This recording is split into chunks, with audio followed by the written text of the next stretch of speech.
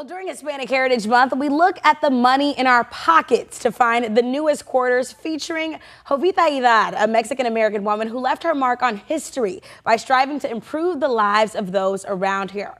Here to tell us more about Jovita Idar is our favorite celebrity historian, Rafi Andonian. Rafi, thanks so much for being here with us today. Of course, for Hispanic Heritage Month. I Perfect tie-in with the quarter in our pockets right now, honoring Hispanic heritage. And this is so cool. And for those that don't know, tell me a little bit more about who Jovita Idar was. Jovita Idar was a Mexican American who advocated for Hispanic heritage. And she, the way she put it is she said, we want to learn about Washington and Lincoln, but also, not only Washington Lincoln, but also, for example, Hidalgo and Juarez, and to want to retain the language of Cervantes, which is a reference to Don Quixote, was the first novel written, and of course it was in Spanish centuries ago. So she wanted to keep that Mexican American and the bilingual lineage. She was an educator, she was a suffragist, she was also a teacher, she was, uh, she was a journalist, she was a journalist, that's right, that's right.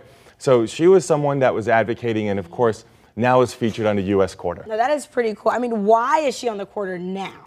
Because there are uh, a series of quarters that are being done by the U.S. Mint right now. It's a four-year program featuring five quarters a year, and each quarter features a different woman. So we have five of them here from 2023 with Jovita on there, the latest one. And so she's the ninth one on the whole series. This is the first time that circulating quarters have honored exclusively women. It's called the American Women Quarters Program and designed to bring attention to women's history. Now that is pretty cool and pretty amazing. Now you mentioned that there are five different quarters. What is the inscription on Jovita? On Jovita, it tells her story. So first cool. of all, you have E pluribus unum, quarter dollar in United States of America, which every quarter has. Then you have her name, Jovita Idar, which tells, identifies her. Then you have Mexican American rights, which is what she, of course, fought for against what we call the Juan Crow laws. You know, there's Jim Crow for black Americans, mm-hmm. Juan Crow laws, is the stuff that was uh, affecting and discriminating um, Hispanic Americans. So then you have the word teacher on there because she was an educator at some point. She was disappointed in the lack of resources in the Hispanic schools, so she quit went to the newspaper La Cronica, which was her father's newspaper. Wow. As a result, became a journalist. That's the other. That's the eighth inscription on there. That's right. And as a journalist, she used the pseudonym Astrea, which is for the ancient Greek goddess of justice. That's what she would write under. And then from there, she went and opened another paper with her brother called Evolucion.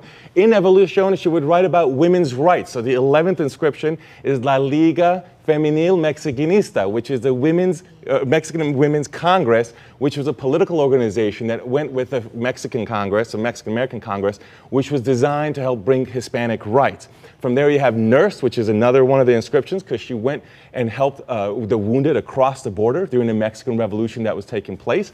And then you have La Cruz Blanca, which is the White Cross, which is the equivalent of the Red Cross, but the White Cross version helping them out. And then there's two more. There's 15 total inscriptions. Two more. One that's remaining is uh, El Progreso, which is a newspaper she went to during the Mexican Revolution after serving as a nurse, writing about the Mexican Revolution, supporting the Mexican Revolution cause, although that was shut down by the U.S. government because she was critical of Woodrow Wilson, the president, wow. sending U.S. soldiers to the border against the Mexican Revolution. And finally, the last inscription you find on there is uh, El Heraldo Cristiano, which is the Christian Herald, which is what she would write in later in her life through the church, supporting bilingual education, supporting a free kindergarten, and she would volunteer and would advertise to there as an interpreter between Spanish and English at hospitals. Oh my gosh. You can tell the whole story of that her right there. And you actually saw those words zoomed in just now when we played that video. That's right. Rafi, thank you so much for that's breaking right. that and remember, money is where nations honor their heroes. And I that's what it means to have her on the same platform as George Washington. That just gave me chills. And it really is the perfect way